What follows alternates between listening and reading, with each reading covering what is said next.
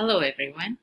In this video, we'll talk another type of discrete probability distribution, that is Poisson distribution. So let's start our discussion.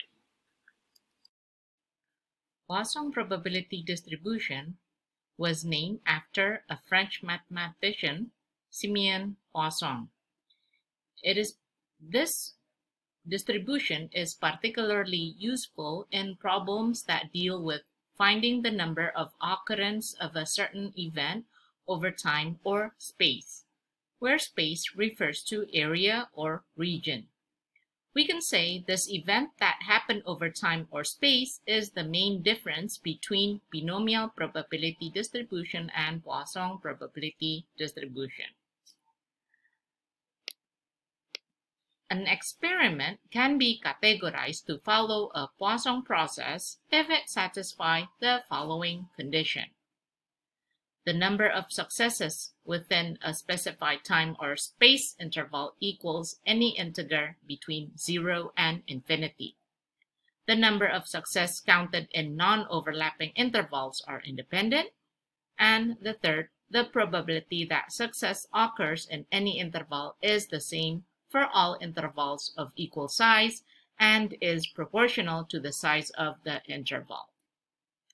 To understand further about the requirement of a Poisson distribution or a Poisson uh, random variable, let's see the example here. As a start, we will use the example of a Poisson random variable with respect to time. Here we have the number of customer that use a McDonald's drive-through in a day. Let's see how this suit an event that follows a Poisson process. The first criteria say that number of success within a specified time or space interval equals any integer between 0 and infinity. We know that number of a customer that use a McDonald's drive-through in a day is a result of a count which can be any number between 0 or infinity. And the interval here is time, that is per day, or one day is equal to 24 hours. The second criteria is the number of success counted in non-overlapping interval are independent. This means that if we count in an interval of one hour and the next hour, the period or interval does not overlap. We define the interval of the period mutually exclusive.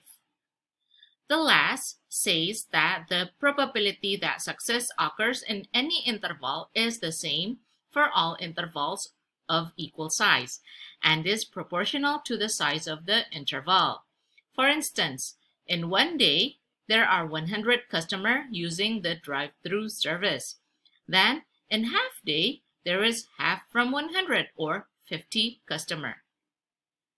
In one hour, then there is 100 divided by 24 customer, which approaches to 4. Now, what about Poisson random variable with respect to space? As an example is the number of leaks in a 10 kilometer stretch of a pipeline. From the first criteria, from this example, we are counting the number of leaks in every 10 kilometer of stretch pipeline. It can be 0, 5, 10, and so on, the result of a count. The interval is the space, the per distance of a pipe. Here, we use 10 kilometer, equivalent to 10,000 meter. The intervals are not overlapping and independent. So if we count 10 kilometers, then the next 10 kilometer doesn't overlap with our first 10 kilometer. So if I draw a pipeline here, say this is the pipeline. So let's say this is the first 10 kilometer, the next 10 kilometer. These, uh, each 10 kilometers are independent and not overlapping. Then the next requirement say that the probability success occurs in any interval is the same for all interval of equal size and is proportional to the size of the interval. So for example, if we if there is 20 leaks in 10 kilometer, then there is 4 leaks in 2 kilometer, 2 leaks per kilometer, and or 1 leak per 500 meter. So it is equal and proportional.